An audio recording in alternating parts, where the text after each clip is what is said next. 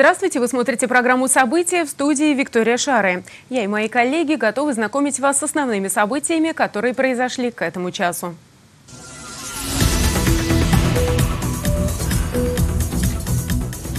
Пробило дно, как падение цен на американскую нефть отразится на российской экономике. Без майских шашлыков в Самарском Роспотребнадзоре заявили, что ждать ослабления режима самоизоляции пока не стоит. Как российские летчики летают за рубеж в условиях коронавируса. Эксклюзивный репортаж командира воздушного судна для нашего телеканала.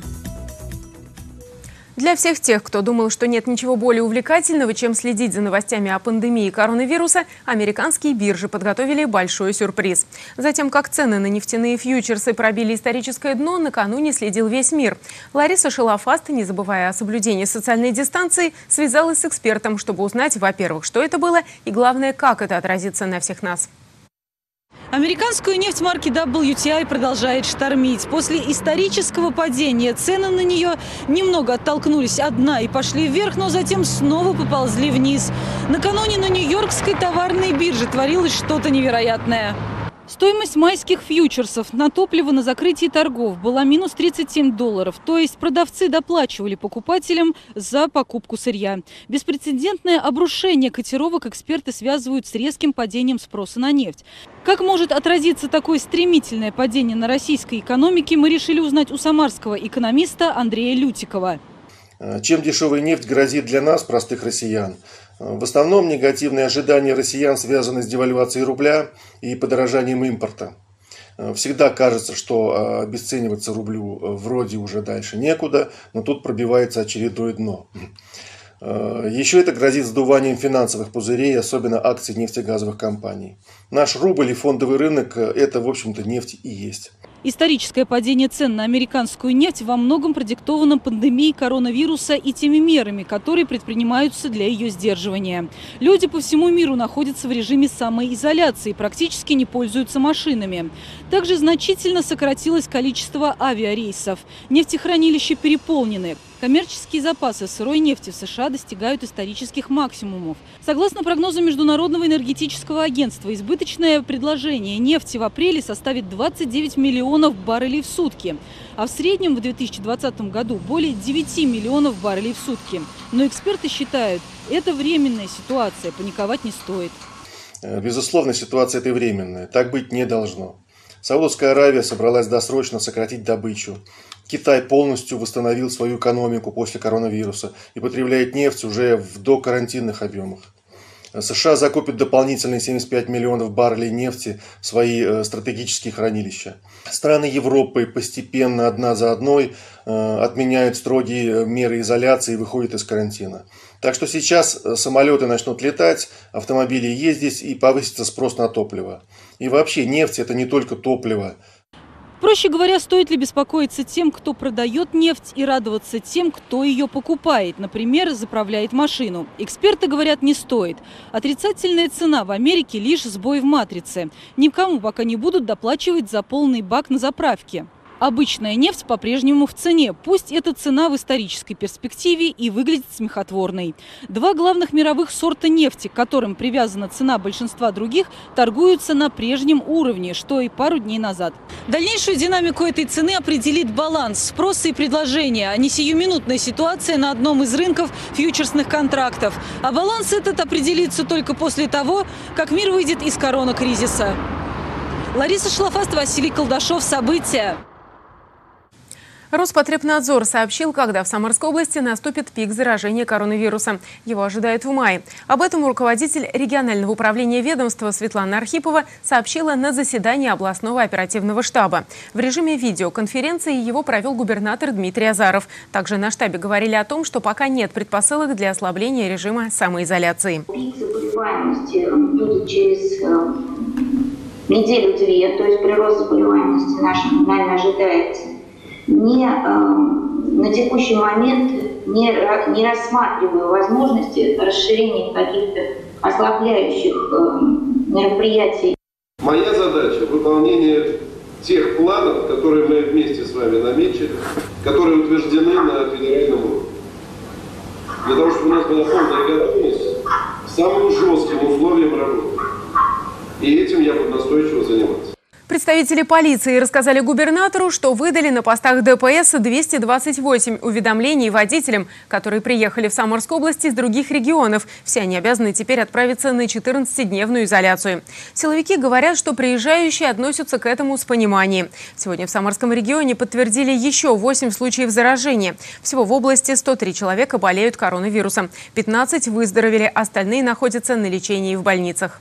Первым делом дезинфекция. В Самаре прошло заседание городского штаба по борьбе с коронавирусной инфекцией. Руководители отраслевых департаментов совместно с Еленой Лапушкиной обсудили меры безопасности во время пандемии, а также поддержки тех, кто находится в трудной жизненной ситуации. Информацию из первых уст узнала Мария Елчан. Генеральная уборка улиц и транспорта, дезинфекция подъездов и общественных пространств. Эти меры безопасности во время пандемии обсудили на заседании городского оперативного штаба. Районные власти доложили главе города, что управляющие компании и ТСЖ в целом справляются с новыми обязанностями. Дела штатно, по дезинфекции обстоят, 100% и подъезды, и лифты, и детские площадки обтянуты. На текущий момент проблем нет. У нас с вами цель, э, чтобы все подъезды были ежедневно обработаны, все контактные поверхности. Городской оперативный штаб работает в непрерывном режиме. Сотрудники муниципальных предприятий, которые работают в период пандемии, обеспечены всеми необходимыми средствами защиты. Помимо масок мы выдаем кондукторам и э, водителям еще и дезинфицирующие растворы и влажные салфетки. То есть мы выдаем это. То есть все это в полном объеме присутствует и под роспись выдается. Что необходимо продолжать делать? Это, конечно, усилить контроль, продолжать усиление контроля за соблюдением гражданами принципов изоляции на дому. Особенно групп риска, про которые все мы знаем и говорим, это лица 65 лет и старше, граждане, имеющие хронические заболевания. Не прекращают свою работу и детсады. Открыты 215 дежурных групп. Продолжается и выдача продуктовых наборов семьям, малообеспеченным, тем, где есть дети с ограниченными возможностями здоровья, а также сиротам. Планируемые недели с 20 по 26 апреля. Запланирована выдача наборов 24 тысячи 70 дети воспитанников должны получить.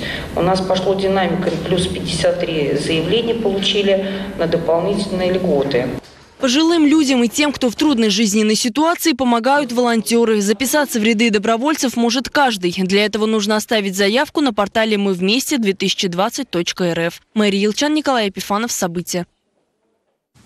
В Китае люди по-прежнему продолжают заболевать новой инфекцией. За сутки там выявили 12 случаев заражения коронавирусом. Выздоровели 22 пациента, летальных исходов не зарегистрировано. В Поднебесную продолжают летать российские авиакомпании. Они перевозят различные грузы, в том числе и гуманитарные. Специально для нашей телекомпании командир воздушного судна Алексей Зайцев записал на видео рассказ о том, как сейчас в новых условиях работает он и его коллеги-летчики, и снял видео, на котором видно, какой контроль проходят самолеты по прибытии в Китай.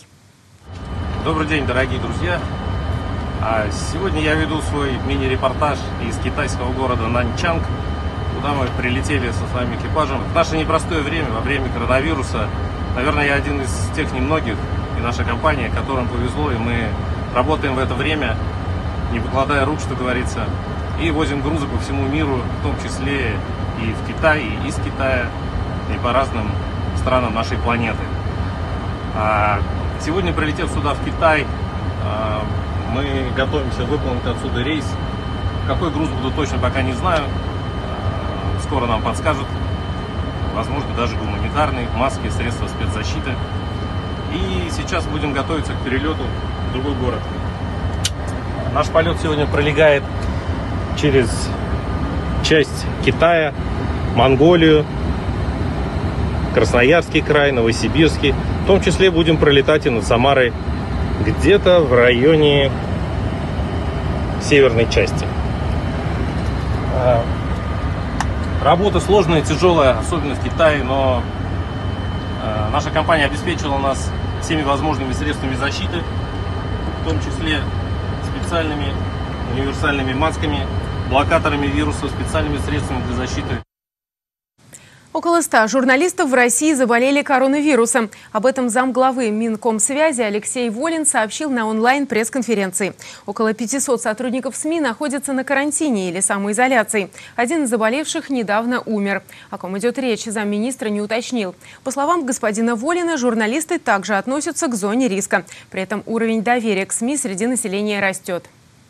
Происходит изменения э, и в самой отрасли, э, мы видим, что э, сильно меняются форматы телевизионного и радиовещания, э, и новости э, все больше и больше замещают собой развлекательные программы. У нас же есть данные социологических исследований, которые показывают, насколько уменьшилось количество скептиков в отношении режима самоизоляции и в отношении опасности эпидемии. Оно уменьшилось примерно на 25-30%. Э, никакого другого источника информации, кроме как э, СМИ, э, у людей нет. Вот вам результат. Ранее замглавы Минкомсвязи оценил потери медиаотрасли из-за коронавируса в 2020 году в 100 миллиардов рублей. По словам Алексея Волина, число пользователей растет, но доходы СМИ падают. Также сильно сокращаются рекламные бюджеты. Заместитель министра говорит, что некоторые сокращения числа СМИ неизбежно, но он не видит в этом проблемы, потому что профессионалы работу всегда найдут. В этой отрасли их не хватает. Областные станции переливания крови испытывают дефицит. Такая ситуация сложилась из-за особого режима, в котором сейчас живет регион.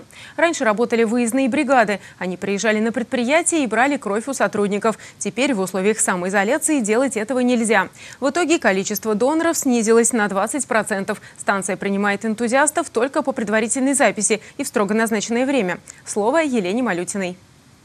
Одна кровосдача может спасти жизни трем пациентам. Процедура длится всего 5-7 минут. За это время донор сдает 450 миллиграммов крови плюс 3 вот такие пробирки для дальнейшего исследования в лабораторных условиях на инфекции. Сдать кровь может любой здоровый человек, но есть лимит. Женщины 4 раза в год, мужчины 5. За два дня до процедуры нужно отказаться от употребления алкоголя и тяжелой жирной пищи. В день процедуры нужно позавтракать и обязательно взять с собой паспорт. Игорь Гильдин уже 6 лет регулярно приходит на станцию переливания для того, чтобы пополнить ее запасы. Говорит, приятно понимать, что может спасти чью-то жизнь. К тому же он всегда знает, что здоров, потому что перед процедурой проходит обследование. Приятно, когда приходит смс ваша кровь спасла жизнь человека. Такая смс тоже приходит иногда. Приходил уже два раза за время пандемии, и при этом ну, людей практически нет.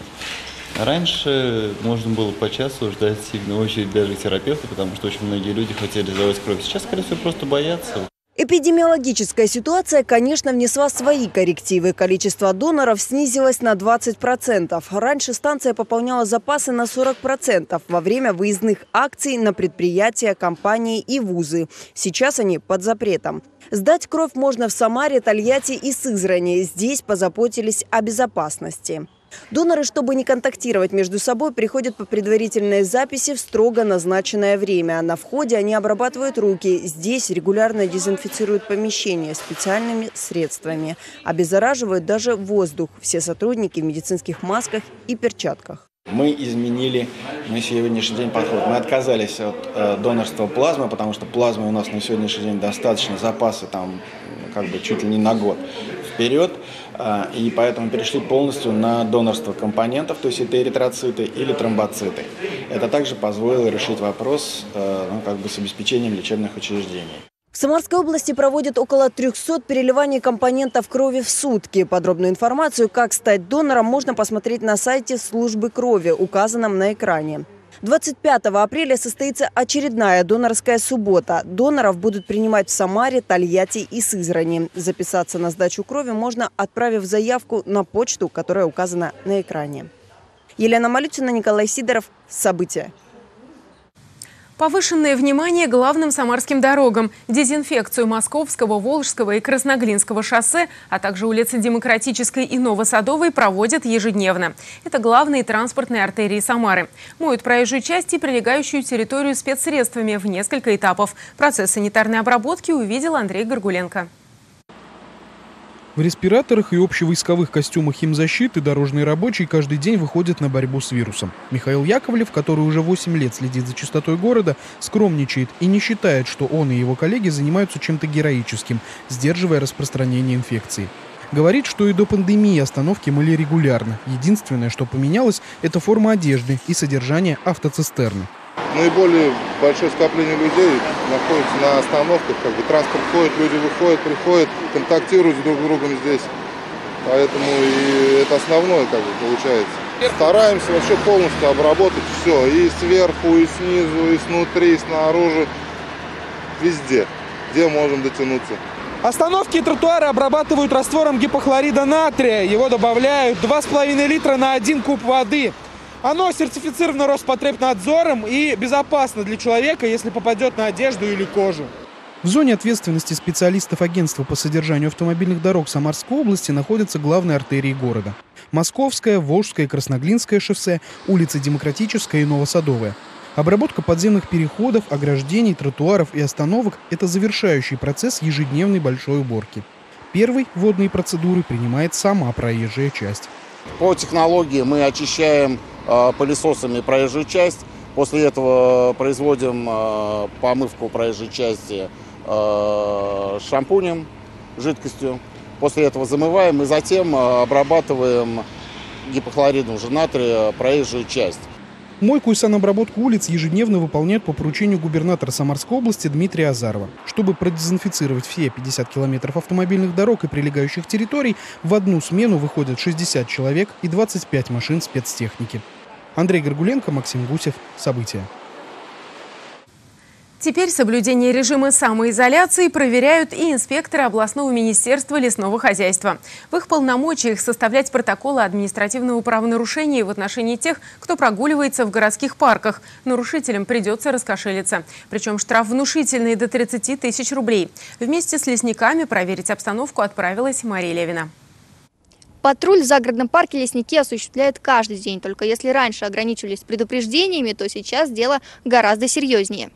Когда было постановление принято, изначально речь шла о профилактических мероприятиях, то есть больше было направлено на э, пресечение правонарушений, то есть извещение граждан о запрете, э, то есть мы проводили профилактическую работу. В настоящее время э, ситуация не позволяет сказать то, что становится лучше, поэтому непосредственно теперь возбуждаются дела в административных правонарушениях. Такой штраф составляет от 1000 рублей до 30 тысяч. Протокол лесники сначала отправляют в надзорные органы, а после чего он попадает в суд. И уже там назначается конкретная сумма штрафа. Как правило, людей больше в теплую и солнечную погоду, а вот в такую, как сегодня, в облачность, парк полностью в распоряжении пернатых и пушистых.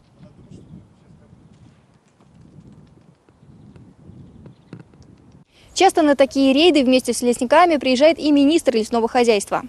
Если есть возможность людьми поговорить, все-таки понять вот логику, вот, ну, или действительно до, до людей информация не доходит, в чем я весьма сомневаюсь. Вот э, увидеть, какая категория более подвержена, будем сказать, которая нарушает. Вот это основная. Ну и посмотреть, действительно, ребята, вот уже я не первый раз здесь э, говорят, что немного вот в нашем загородном парке. Наверное, это хорошо. Проверяют всю территорию парка от входа до береговой линии. До 1 апреля контроль за соблюдением режима самоизоляции в парках в том числе был в полномочиях полиции. Сейчас же лесопарк в зоне ответственности лесников. Последние две недели они вступали в полномочия. В ближайшее время именно они могут наложить штраф за прогулку на свежем воздухе. Но главная цель, говорят инспекторы, это не наказание, а напротив, обеспечение безопасности самарцев в условиях повышенной готовности распространения коронавирусной инфекции. Мария Левина, Константин Головин. События.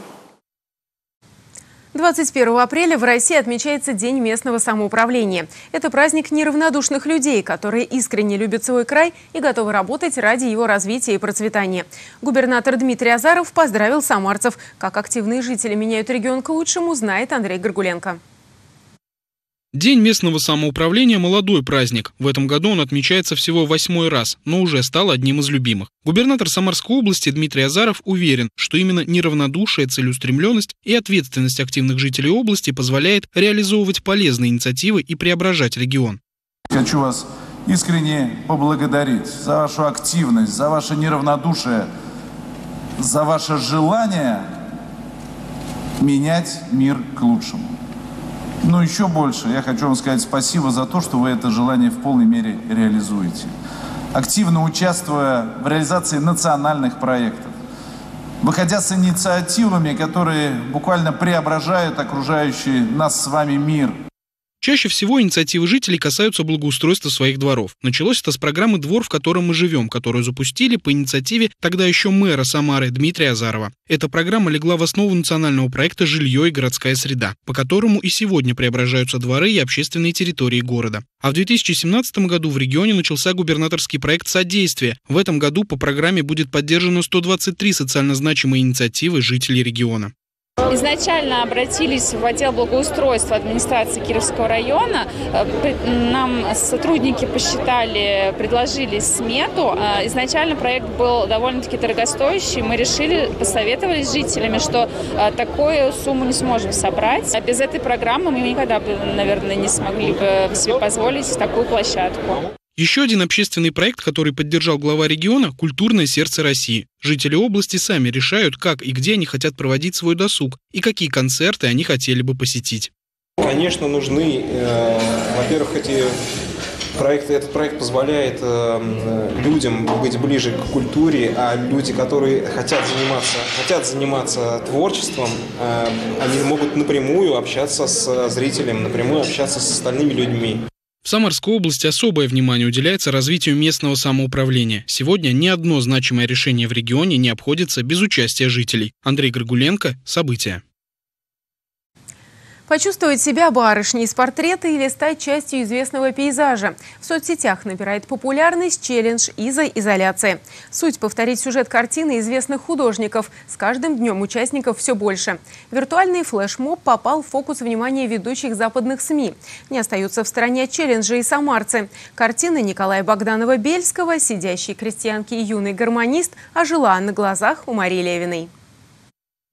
Эта картина «Сидящие крестьянки» и юный гармонист написана народным художником Николаем Богдановым-Бельским. Больше всего он любил изображать быт и повседневность, но делал это со свойственной ему самобытностью.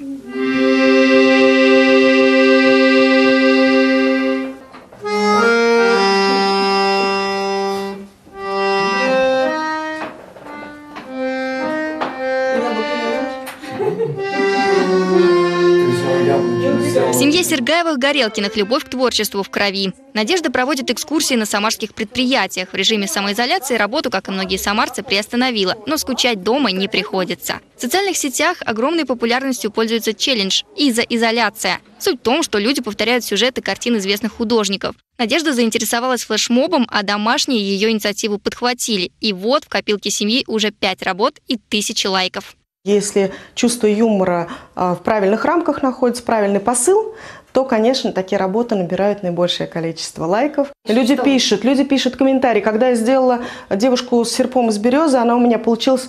Я делала с уважением к художнику, но получилось очень смешно. То есть как будто этим серпом вот убью всех, кто против России. И все об этом писали, говорят, ну, нам теперь не страшно. Раз у девушки есть серп дома, значит, нам в России ничего не страшно. Перевоплощение происходит в считанные минуты. Для создания сюжета годится все, что прячется в семейном шкафу. Это игра. То есть все мы играем, мы все люди, мы любим играть, и взрослые любим играть. И жизнь – это вообще большая игра. А здесь мы можем перевоплотиться, почувствовать, а, что художник пытался нам показать. Во многом выбор картины зависит от аксессуаров, которые есть в доме. С этим проблем нет. Ведь еще одно из увлечений семьи Сергаевых-Горелкиных – реставрация старой мебели и предметов обихода. Самый трудоемкий процесс – это костюмы. Их шьют сами. Нужно жить не скучно. Нельзя кушать и спать. Смысла нет в жизни тогда. А вот когда ты занят с детьми, с людьми, вот радость в чем – и мы живем, и вокруг нас тогда живут. Челлендж из-за изоляции стал популярным в сети. Он позволяет познакомиться поближе с именитыми художниками и стать ближе к искусству. Не стоит забывать, что каждый из нас и есть творец, только вместо кисти и красок в наших руках выбор и поступки, а полотно и есть сама жизнь. И какими оттенками ее разбавить – это уже выбор каждого человека. Мария Левина, Николай Епифанов. События. На этом наш выпуск завершен. Всего вам доброго и до встречи. Música